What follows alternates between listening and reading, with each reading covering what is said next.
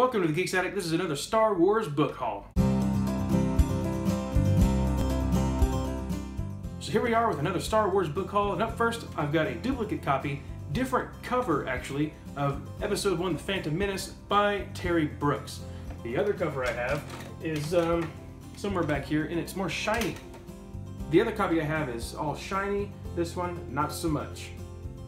I like the shiny, that's pretty neat. I don't know what the difference is. They both say first print. From Brian Daley, I have Han Solo's Revenge. Now this is the second copy that I've got, so I've made a deal with Stupid Chainsaw Productions to trade for the book club size edition of The Empire Strikes Back. Really looking forward to that trade. From the new canon, I picked up a junior novel, The Darkness. It is book four in the Adventures in Wild Space. The last two books I'm going to show you are hardcover and the book club size edition. But first, from James Kahn, we've got Return of the Jedi. This was a great find because it is pristine condition.